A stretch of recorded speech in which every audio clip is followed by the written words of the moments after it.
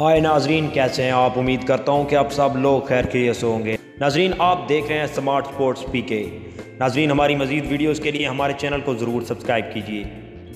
Pakistani all rounder cricketer Shoaib Malik اور بھارتی tennis کھلاڑی ثانیہ مرزا کے ہاں بیٹے کی پیدائش کے بعد اس کی شہریت کا سوشل میڈیا پر بنا مما حل ہو گیا۔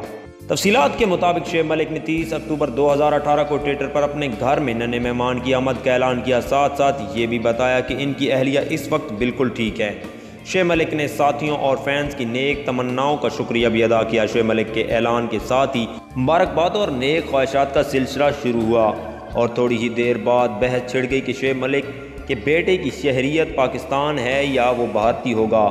لیکن اب یہ معمہ حل ہو چکا ہے۔ بھارتی اداکارہ اور تجزیہ نگار کستوری شنکر نے ٹویٹر پر ٹویٹ کی، ثانیہ مرزا کے بیٹے کی پیدائش بھارت میں ہوئی تو آٹومیٹکلی اس بچے کی شہریت بھارتی ہوئی۔ ایک کشمیری لڑکی روبینہ جان نامی صارف نے لکھا، شعیب ملک اور ثانیہ مرزا کے ہاں آٹھ بج کر بیس منٹ بچے کی پیدائش ہوئی۔